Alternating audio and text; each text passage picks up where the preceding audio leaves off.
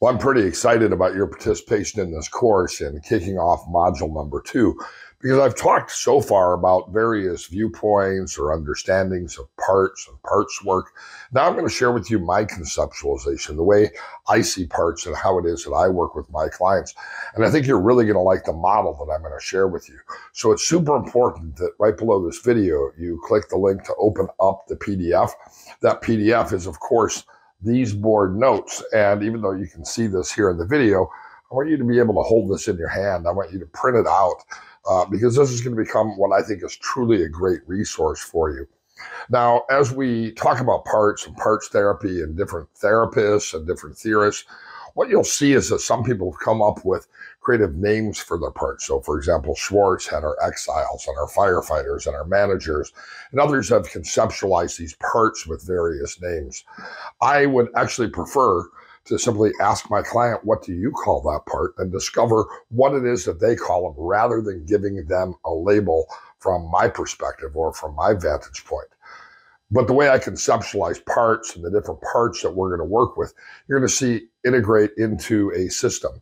And uh, by integrating it into a system, we're able to create interventions, hypnotic suggestions, both indirect and, uh, and direct suggestions, as well as processes that are truly helpful. So I don't have in my conceptualization of parts cute names for each of these things. But I think it is important to recognize that I'm going to talk about five parts, and each one of these parts has a core concept behind it. And so the first of these parts is the physical us. One of the things I've noticed in a lot of different models of parts therapy is that it almost always, they almost always neglect the physical component of who we are. And this physical aspect, I think, is inseparable from the spiritual aspect or from the psychological aspect. I, I actually think mind, body, spirit are, are, are really on a continuum and an extension of each other. And so I like to conceptualize parts therapy, recognizing that the physical aspect, that there are parts of us that are literal, actual parts. And the reason why this is important is your clients will come to you and they will say, a part of me hurts. This could hurt from emotional pain. It could hurt from a medical issue.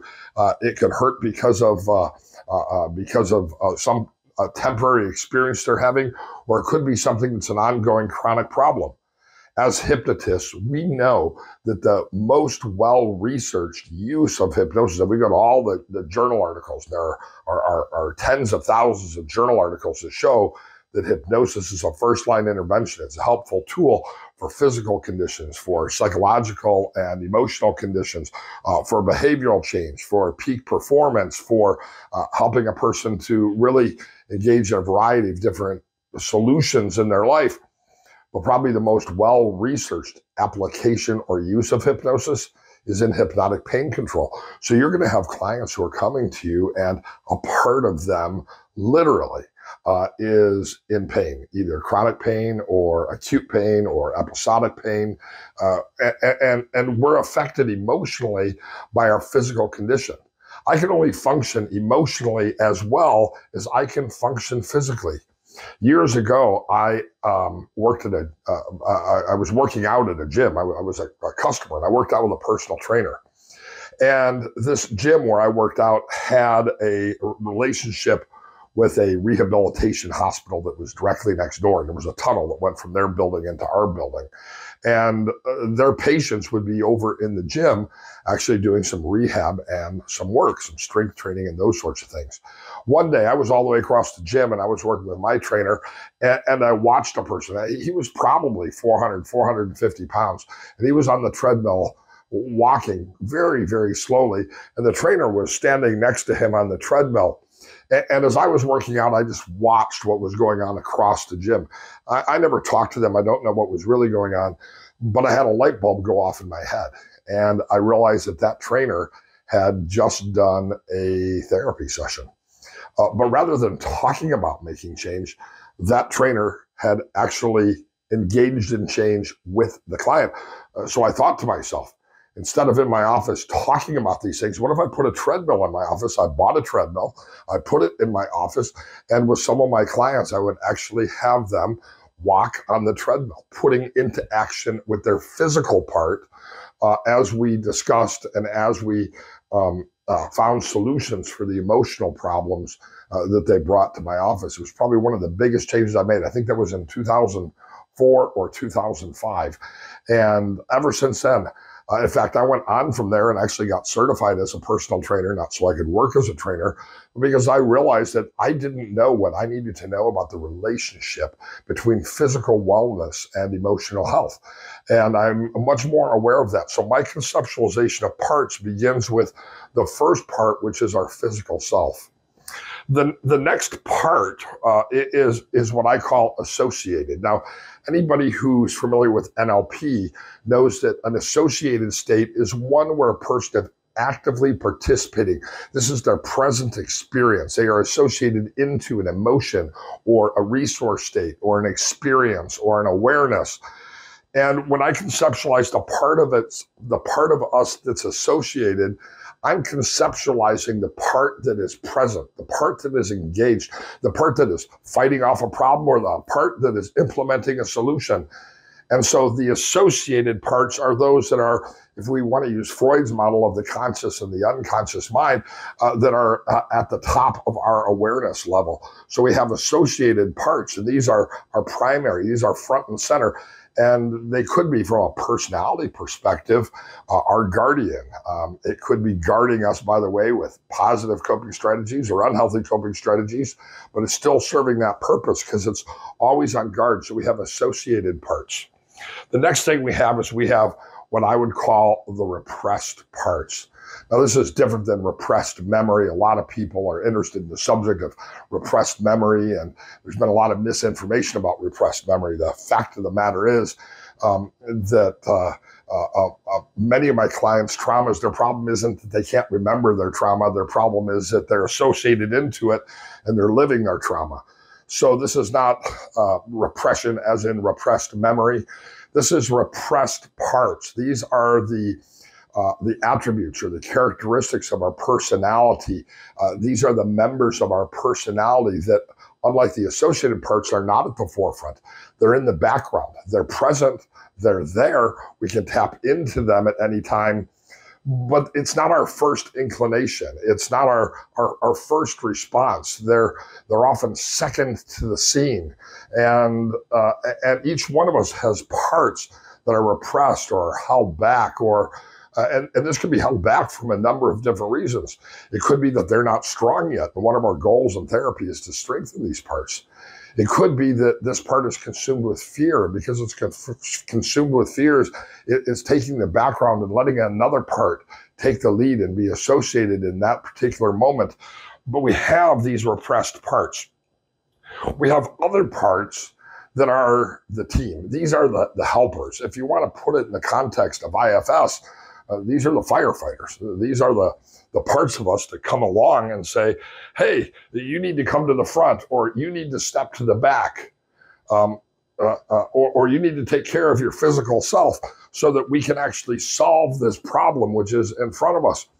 So we have these team members, and these team members are the parts of our personality that play a role really integrating and bringing these different parts together.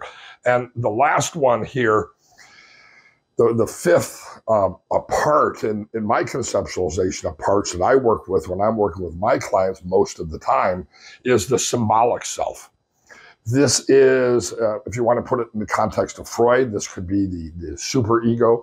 Uh, this is where the uh, the moralistic part is, the spiritual part is, uh, the legalistic part is. Uh, this is where the religious part of us lies. Uh, there are, are, are, many elements of this symbolic self.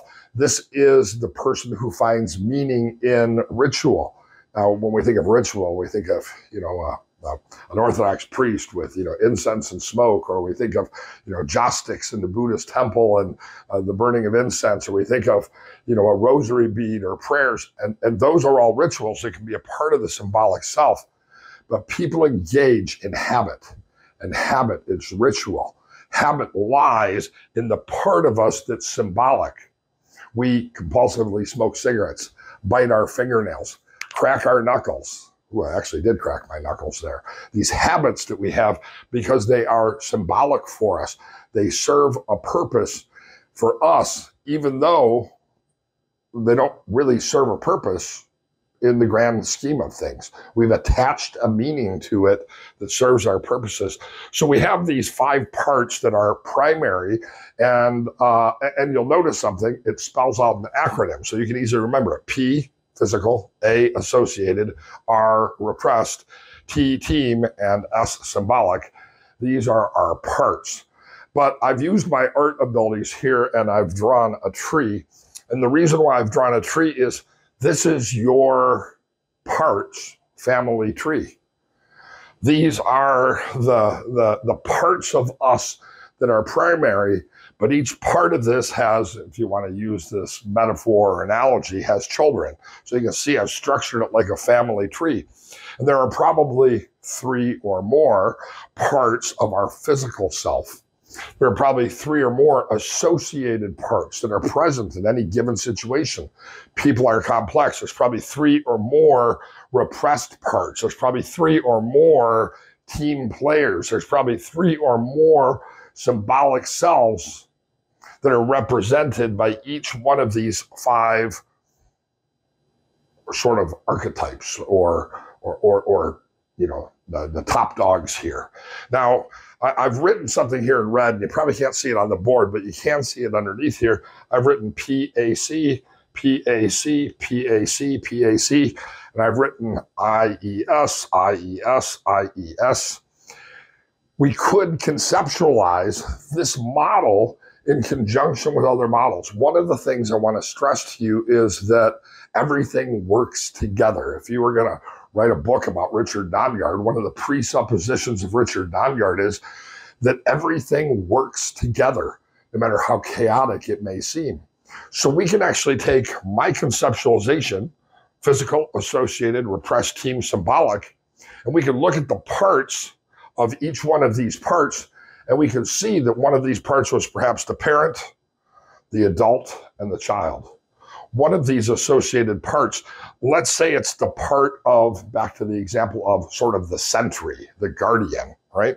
Uh, one is the parent, one is the adult, one is the child, right? We can take the, the, the, the repressed part. Um, this could be the part of me that has shame, right? So I'm going to call this part shame, right? What, what do you call that part? Your clients will come up with a name for their parts. It might be a, an actual name, like Shane in this case, because it sounds like the part of Shane. Or they'll come up with something else, like you know the Muppet part, or you know the the the iced tea part. I don't know. They'll come up with all kinds of different labels for it. So rather than me coming up with labels for the parts, I ask them, what, what does that part call itself? What, what do you call that part? That can be really revealing. And I think better than the approach of telling the clients what the parts are named. So I, I think that's important. But back to our re- repressed person, we have this part that has shame. There's a part of Richard with shame. And I call this part shame because no matter where I go, Shane is always there. And, and Shane is no fun. Shane is always telling me that I shouldn't do this or I can't do that. And, and the reason why is because it would be embarrassing or humiliating, and that would be the worst thing ever. And so I listen to Shane way too much rather than listening to to to another part of me. And and that part uh, uh, is one of the team players. I call him, you know, Coach B. And uh, and and Coach B is is one of the team players who's always telling me, you know, uh, uh, uh, hey, you need to have Shane you know, move up to the front line in the game and, and play defense. So, so we have we could have a, a, a child, a parent, and an adult for each one of these different parts of the bigger part, or back to Freud's conceptualization, we could have an id, an ego, and a superego. We could have an id, an ego, and a superego. We could have an id, an ego, and a superego. We could have an id, an ego, and a superego for each one of these and you won't be wrong. And the reason why you won't be wrong is because one of the presuppositions of hypnosis is that clients will attach the meaning to these ideas that are most important to them. And sometimes they'll attach meanings to the sessions you do that are even different than what you thought about or what you came up with. Now, rather than using the parent, uh, adult, child, or the id, the ego, and the superego, I almost always take a look at the parts of our, uh, our, our parts in context of the past me, the present me, and the future me. And my goal in the therapy that I'm doing is often to move our past into the present and the future into the present. And the reason why is simple. Much of our therapeutic approaches, this is really, again, based on Sigmund Freud, uh, is to go back and revisit the past. But no matter how much time we spend on the past, the reality is we can't change the past. We have to recognize the past. The past brings us to where we are today. Uh, so having an understanding of the past is important. And searching for the initial sensitizing events, the ISE is actually a useful tool in relapse prevention. But I don't think it's a very useful tool, regress to cause, to help people make change. I think we can help people make change without ever knowing why we do the things that we do. Most of my clients, their problem is they are either stuck in the past. They're, they're not living in the present moment. They have regrets, they have fears, they have a lot of different parts of them that they've carried from the past. And so I conceptualize these parts as the parts of the past and ask the question how in therapy can we move forward into the present? Now, some of my clients who aren't stuck in the past, regret, remorse, um, uh, uh, uh, self-flagellation, these types of things that we see. Um, uh, my clients are often stuck in the future. These are my anxiety and my panic and my my fear-based clients. What if? What if? What if? They can't live in the moment because a part of them is always projecting into the future. Well, the great master Oogway said it best. He said, Yesterday is history, tomorrow is a mystery. All we have is the present, and that's why it's a gift. So, my predominant approach, whether it's therapy or counseling or really any other coaching strategy, is to help people to, to, to move these parts to the present moment so that all of these parts together can be here and now if all of these parts are here and now and they are resources to me, I can actually solve just about anything. Uh, I can do things with all of my parts that I can't do with just one part or another part.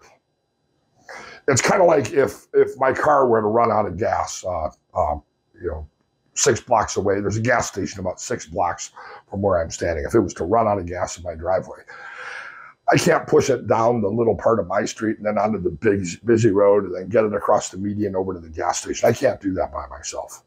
But if all of us who are watching this video were here right now, let's say there were 50 or 60 or 70 of us, can we all get behind my Ford Expedition and can we push it the six blocks to the gas station? We could do that together. Uh, you might not be happy about pushing Richard's truck, but we could do it. And we can do things together that we can't do alone, which is why when we get all of these parts together in the present moment using contextual approaches, acceptance and commitment therapy, mindfulness based stress reduction, solution focused brief therapy, cognitive behavioral therapy, other approaches that focus on the present rather than resolving the past, I find that these parts can all function together in a resource state that can make the possibilities for our clients' experiences truly unlimited. Now, there's something else I want you to notice about this conceptualization of parts and parts therapy.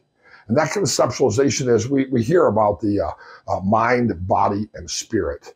I want you to notice that what we really have here is body, mind, these three, and spirit, the metaphysical aspects of our experiences. This is a holistic understanding. I put that here on the board body, mind, and spirit. I don't know if you can see the board that low there. But, uh, uh, but when we talk about doing holistic therapy, where we see a person not as an isolated uh, problem or an isolated part, but as a whole uh, from a praxeological perspective we can do great things with those clients. And this model of parts work in hypnosis is a model that I think we can explore and that we can build on to truly find benefit for our clients. In fact, I'm looking forward to our Zoom room because in our Zoom room, I'm going to be laying out for you a set of strategies that use this family tree of the parts to help us create um, uh, suggestions that can truly impact the clients that we work with. I'm going to give you a process that that brings all of these parts together into the present moment, and I think you're going to discover it's a powerful process that uh, uh, that we can use with just about any client who comes in our office or that we meet with on Zoom to help them live their best life. And that's really the promise of hypnosis. The promise of professional hypnosis is that when your clients learn hypnosis, when they come to see you, the problems they've had uh, begin to disappear. They, they discover a, a, new freedom, a new way of, of managing life. Uh, they, they discover new opportunities they didn't know before. And by, by having this model, which I think is a really functional model of parts, as sort of our foundation, we can we can then take our other learnings from IFS or from transactional analysis or from Sigmund Freud or really from any other understanding of parts work and do great things with the clients who we work with.